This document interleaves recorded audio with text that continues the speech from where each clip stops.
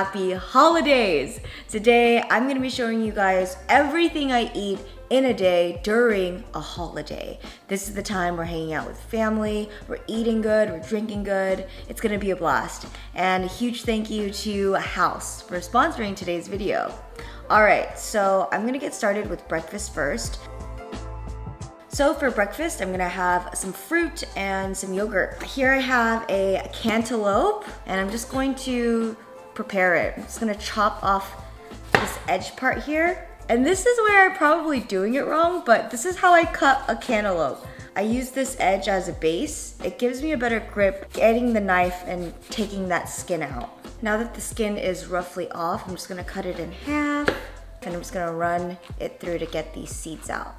I'm just gonna just chop it into little cubes. All right, so I'm gonna put half of this cantaloupe in here. So now I'm just gonna plate this. Gonna just pile the cantaloupe here. This is almond milk yogurt, and it's actually really delicious. It's definitely more watery than Greek yogurt, but I actually like this runny texture. And then inside the yogurt, I'm just gonna put a little bit of goji berries, just for some flavor and texture. All right, and voila, we've got breakfast. So let's have a bite. I like to get the cantaloupe and then kind of dip it in the yogurt. Mmm, it's so perfectly tangy and sweet. It's great.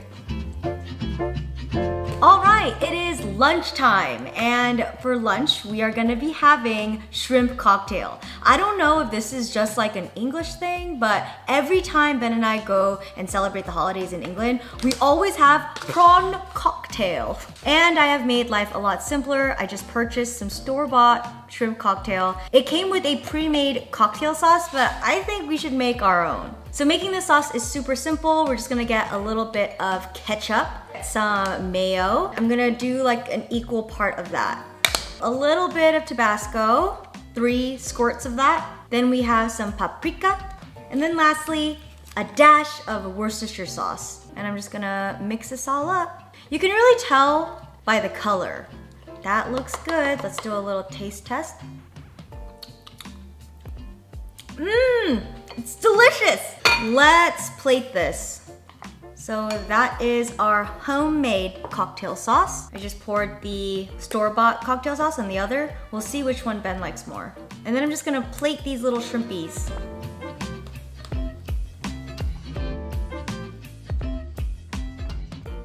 So I thought we would make a cheeky little drink to go along with lunch. I mean, it is the holidays. You wanna let your hair down a little bit. So I'll be making a spritz using Haus. First off, look at this stunning bottle. It is gorgeous to display on our bar cart. This is in the flavor citrus flower. It is my favorite. I first heard about Haus from our good friends Waylin Wall. I saw them drinking it and then it got us a little curious and now we are obsessed. I have always loved citrusy things, and this one tastes really fresh and bright because it's made with lemons and elderflower.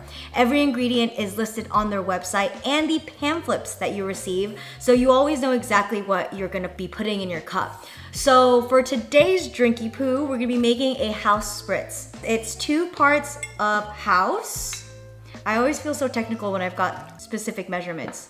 And then it's gonna be one part soda water, one part champagne. Ooh, gorgeous. Gonna get a little spoon, mix it around, and plop a lemon in there. All right, let's have a sip. Oh, it's so good, so festive and Christmassy. I need to try the ginger yuzu flavor next.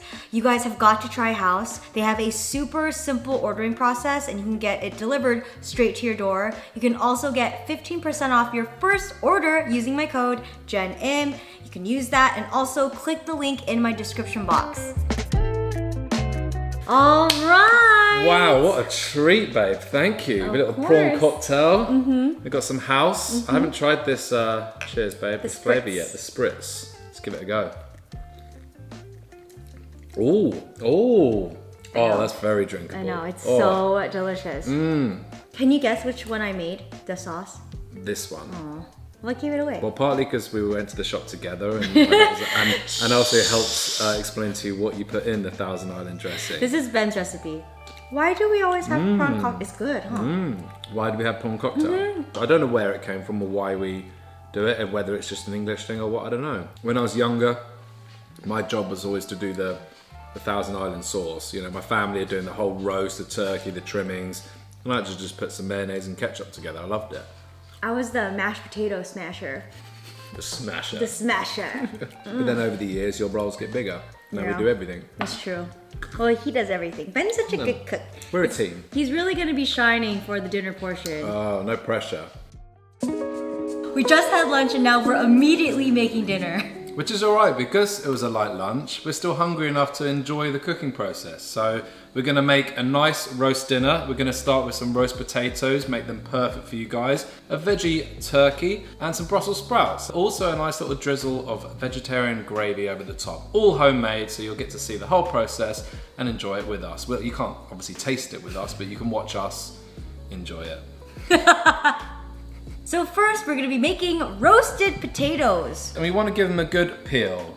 Now that they're peeled, we're going to chop them in half, then we're going to throw them in some boiling water for 10 minutes on a medium to high heat, just to get them a bit nice and succulent inside. So now that the potatoes are finished, this is the special part. We give them a good fluff, a good shake, just kind of roughes around the edges, and this will just help get them nice and fluffy in that oven. And then you set that aside, and then you get a nice baking tray, get some olive oil, get that nice and coated, and then I'm to throw the potatoes in. Again, give them a little shake, get the oil nicely mixed in. And then I'm gonna chuck a couple of bits of butter in there. This just helps get them nice and crispy. I'm gonna add some salt and pepper. Throw them in the oven around 400 degrees for about 25 to 30 minutes, just so they get slightly brown underneath. So next up, we have the meatless roast by Quorn. This does such a good job. It's so easy to make and it tastes just as good. And you don't have to stick your hand up a turkey's butt to rip the heart out. So Pierce the film, throw it in some foil, give it a little wrap, and chuck in the oven with the potatoes. Easy. Look at that. Phase one of the potatoes are done. Let's have a little look. As you can see, they're getting a tiny bit of color to them at the bottom. So this is the special part of the potatoes. As you can see, they're getting a little bit brown underneath. Get a nice mashed potato masher. This is where you want to be delicate with it. Delicate but firm and you just want to give it a slight little push. This is how you get them nice and fluffy and extra crispy. Mm. We're going to throw some garlic. I did five cloves. We're going to keep the skin on as well. This just stops it from burning. And this is where the real flavor comes in. Some fresh rosemary. Grab it off the sprig, whatever you would call it. Sprig it off. Cheeky bit more salt and pepper. And then we throw that back in the oven for about 25 minutes to 30 minutes until it's delicious, crispy, golden brown, fluffy to the touch. So the turkey has been in there for 40 minutes and now we're gonna pop it out. And by we, I mean Ben. So you're gonna get the wrapping off. So this is where we wanna cut up a couple of slices of orange. This just gives it, you know, a little zesty feel to it, a nice bit of flavor. You're gonna place them either side. We're gonna throw some olive oil on it and get some salt on there. And then we're gonna throw it back in the oven for about 20 minutes. So now we're gonna make the vegetarian gravy. It is absolutely delicious. Mm-hmm. So you're gonna need half an onion. We've just diced these and we're gonna plop them into our manual food processor. Five cloves of garlic. And then we're gonna pop the lid on and go to town. Look at that, nice and fine, so it just adds to the consistency of the gravy. Then we're gonna pop that into a pan. Put some vegetable oil or canola oil. You want a good amount of this. And then get a medium heat, and then we're gonna add our onion and garlic that we've already prepared. And you wanna fry this for like five to seven minutes until softened and slightly browned. Now we wanna add a third of a cup of all-purpose flour. This is gonna get a nice thickness to the dish. Then we want some nutritional yeast seasoning. We want about four teaspoons of this. We don't need much. And then we want four tablespoons of soy sauce. This just adds to the richness. Then we want to whisk it together into kind of an almost paste. We want two cups of vegetable stock. Get a nice liquid, get the gravy texture. Look at that. Basically, you want to keep whisking this until it turns into, you know, a nice liquid. Add some salt, So you let this sit and simmer for 10 minutes, stirring occasionally. And while that's cooking and smelling bloody lovely, I must say, uh, we're gonna do some Brussels sprouts. We're gonna wash them, chop them in half, we're gonna throw them in some boiling water. Cook them for about 10 minutes until nicely softened. Get the salt in there, yes. All right, the potatoes are oh, finished. Oh, look at these. Wow, Golden brown, nice and fluffy. Oh, I'm so hungry. that looks so good. Smells great. And then to plate it, we're just gonna put a little bit of rosemary there. And there we go. Right, and the turkey is done. It, look, it doesn't look like much, guys, but it tastes lovely. Yeah. Yeah. Wow, look at that. Right, so the sprouts are done.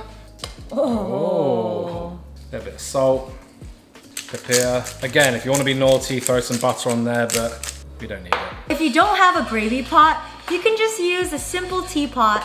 That's what we do. Gorgeous. You ready to eat? I am so ready to eat. we did eat. it. You can see the oh sweat. We've been drinking this like it's water. Naughty water. Right, let's eat, babe. Let's plate this up. Let's do this.